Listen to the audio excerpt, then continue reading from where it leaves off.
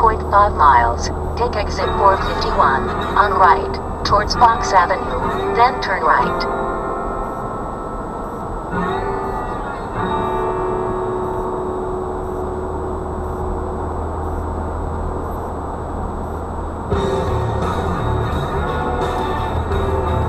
Take exit 451, on right, towards Fox Avenue, then turn right.